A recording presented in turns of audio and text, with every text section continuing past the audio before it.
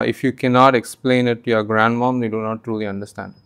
So அப்போ பதில்கள் அல்ல கேள்விகளே அறிவு கேள்விகள் கேட்க கேட்க our depth in the topic will come out.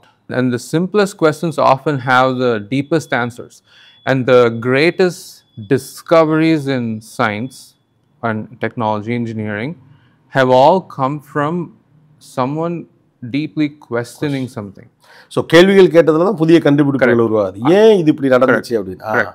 so New Newton was the authority of the subject in physics. Newton's laws, even now, teachers.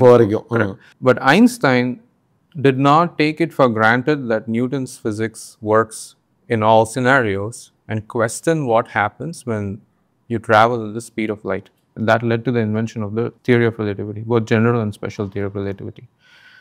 And then people could have taken Einstein for granted, but they said, okay, what if we go the subatomic particle level?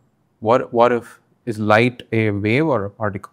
That led to the invention of quantum physics, which Einstein disregarded for a long time. There's a famous quote of his saying, God does not play dice with man because our the probabilistic nature of uh, particles and waves, he didn't believe in it.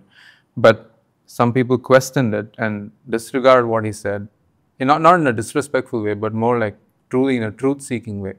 So you have to always question things. You have to always like uh, not assume that um, whatever is currently taught to you is the right way.